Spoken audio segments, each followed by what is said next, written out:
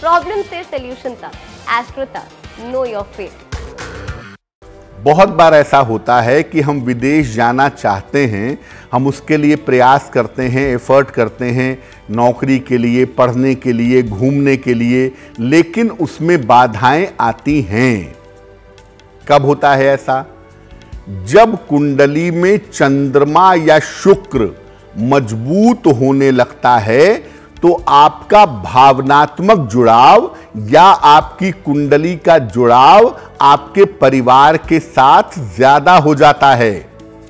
चंद्र या शुक्र मज़बूत होगा तो परिवार से दूर जा पाना बेहद कठिन होगा।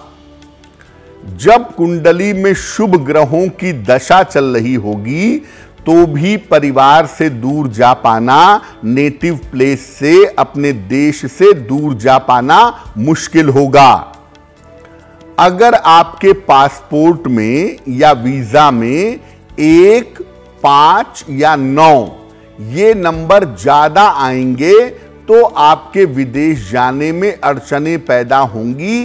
बार बार ऐसी स्थितियाँ बनेंगी कि आप जाते जाते रुक जाएँगे। अगर किसी व्यक्ति की जन्म की तारीख चार, तेरह, बाईस या इकतीस हो तो ऐसे व्यक्ति खूब विदेश जाते हैं, कई बार विदेश यात्राएँ करते हैं या कभी नहीं जा पाते। इस एड को स्किप करना तो बहुत मुश्किल है, पर लाइफ की प्रॉब्लम्स का सोल्यूशन ढूंढना आसान।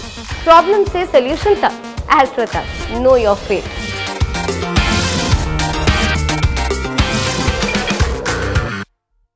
चार अंक के साथ राहु का कनेक्शन ज़्यादा होता है तो या तो ये विदेश जाएँगे, वहाँ परमानेंटली रहेंगे, या कभी भी विदेश नहीं जा पाएँगे।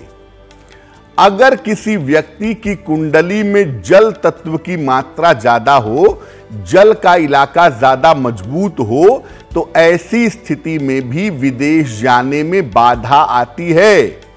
देखिए, आपको पहले भी कहा कि आप विदेश तब जा पाएँगे जब परिवार वाले भाव में गड़बड़ी होगी या परिवार के जो ग्रह हैं, चंद्रमा और शुक्र, ये गड़बड़ होंगे तो परिवार से आप दूर जाएँगे अपने। लेकिन अगर ये ग्रह मज़बूत हो गए अगर कुंडली में जल तत्व मज़बूत हो गया, चंद्र मज़बूत हो गया, शुक्र मज़बूत हो गया तो ऐसी स्थिति में आप विदेश नहीं जा पाएँगे या बहुत छोटे समय के लिए, दो चार दिन के लिए गए, चले आए, लेकिन अगर ये हिस्सा मज़बूत हुआ तो विदेश में जाना और विदेश में स्थायी रूप से बसना आपके लिए इतना आसान नहीं होगा। एस्ट्रो तक ऐप पर आपको मिलेगा भविष्य से जुड़े हर सवाल का जवाब।